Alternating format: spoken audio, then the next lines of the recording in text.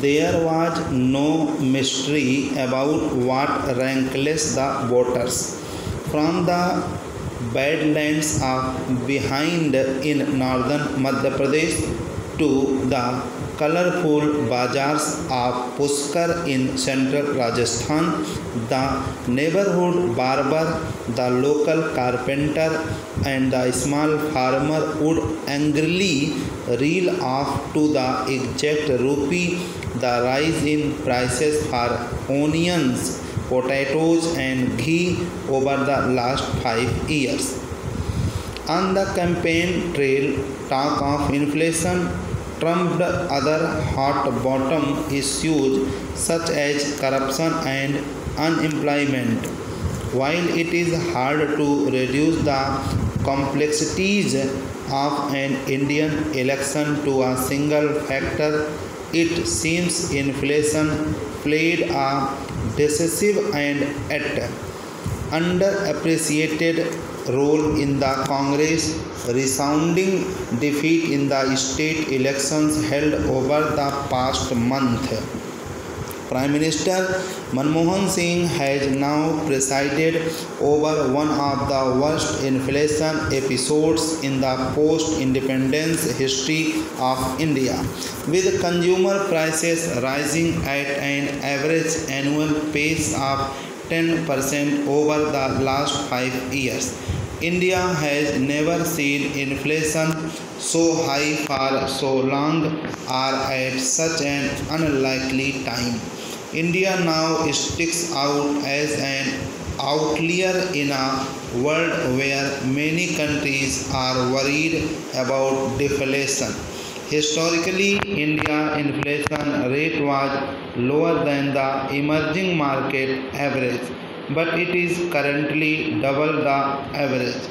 For decades, India ranking among nations by inflation rate had hovered in the mid 60s but lately it has plunged to 142 out of 153 emerging markets.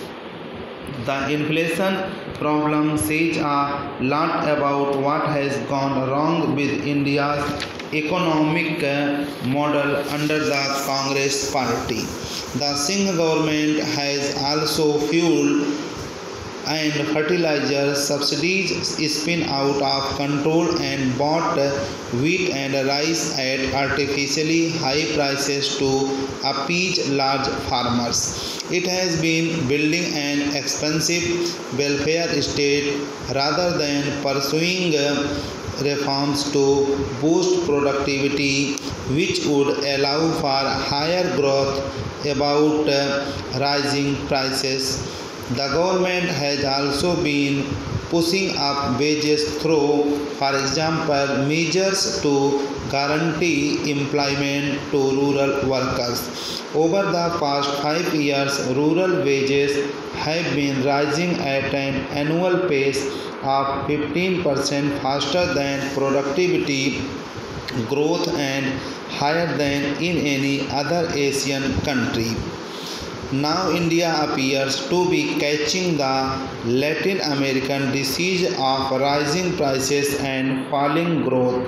As workers come to expect higher prices, they increasingly demand higher wages, leading to a destructive wage price spiral.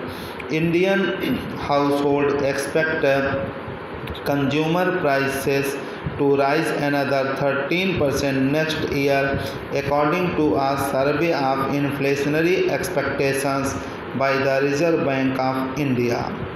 One reason India voters are turning so sharply against Congress is that its policymakers do not seem to understand the depth of the inflation problem. Early on, they dismissed inflation as a temporary threat or a threat only to food prices, even as prices started to rise in other areas such as services.